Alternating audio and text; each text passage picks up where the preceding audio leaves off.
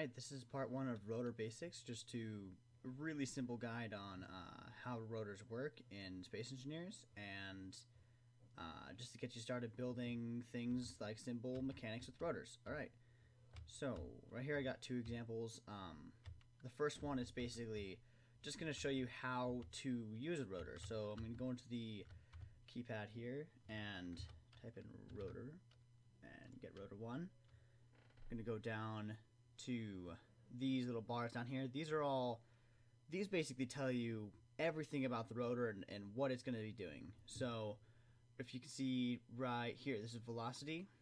This is going to be saying, this is like how fast the how fast the uh, rotor is going to be turning, and in which direction it's going to be turning. So it's in the middle right now. It's at zero. If you move it up, let's see. Let's just move it up a little bit. You see it starts to turn to it starts to turn uh, like clockwise, clockwise, and that's a positive direction. So this is the current angle right here. This this little thing shows shows where it's at. Um, if you move it back, it's going to start going into a counterclockwise uh, movement. So with that, you can do this. Is this is basics basics of rotors, just how to get a rotor to move. Um, and once you got that, you can start heading over and messing with this, which is um, my second example. And with with this rotor two, I'm going to show you how the lower limit and upper limit work. So basically, a lower limit is like a lower and upper limit is if you see these little marks on here, these are the degrees. These will like it's basically where the rotor is on its turning point. So this little line is a good reference point you can use.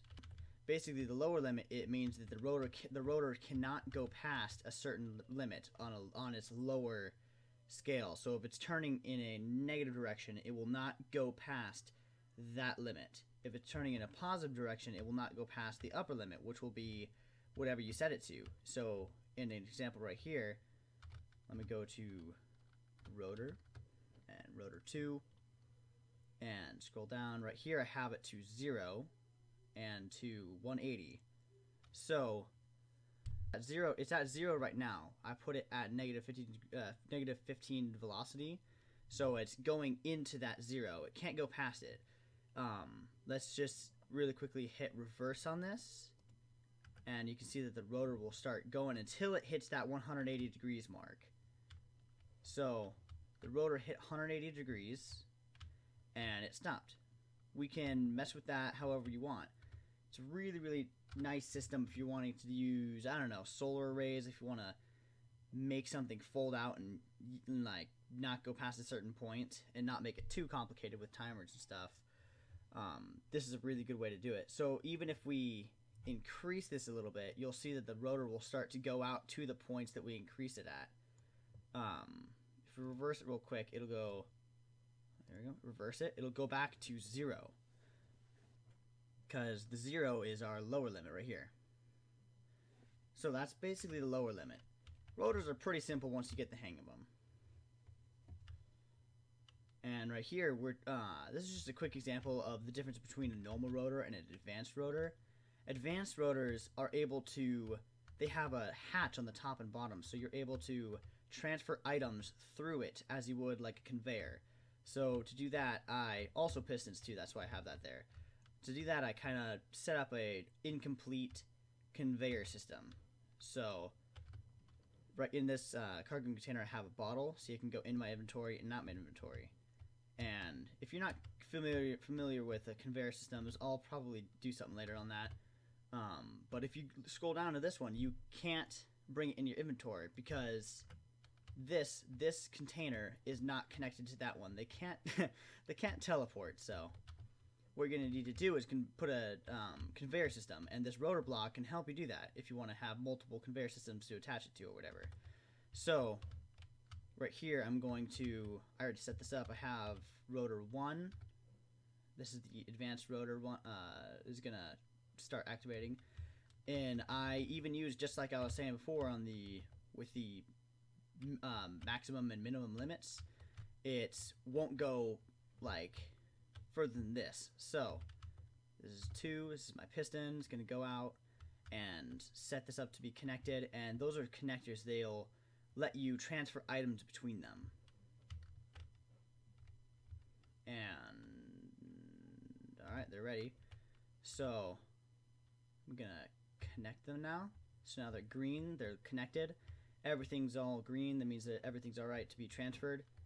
So just one more time checking. You can bring this in in there, and now I can go to this this um, container and scroll down to the same container, and I'm going to be able to drag it in and out because the conveyor systems are connected. So there you go.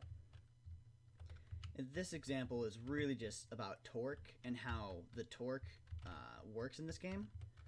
And just really quickly to touch on this, go to rotor, uh, torque example. So right now it's um, I have it steady.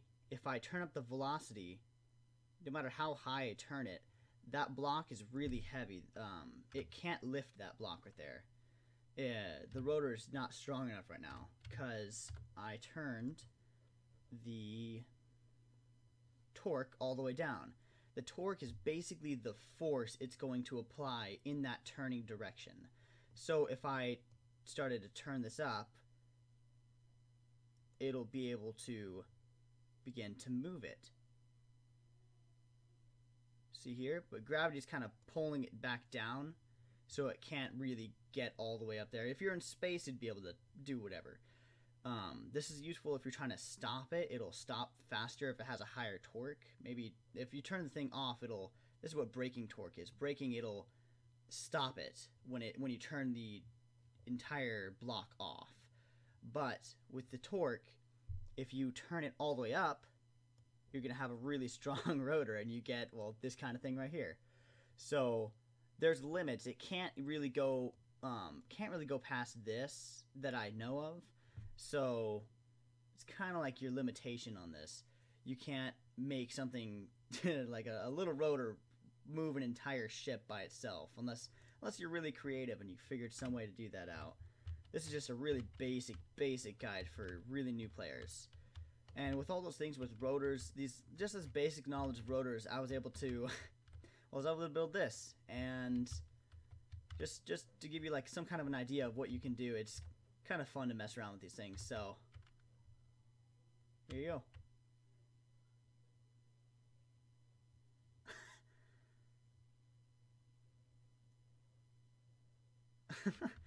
All right, so Dancing Noodle Man. Anyways, uh, if that's that's basically all there it uh, all it is to the small it's like the really really basics of rotors is that's pretty much it so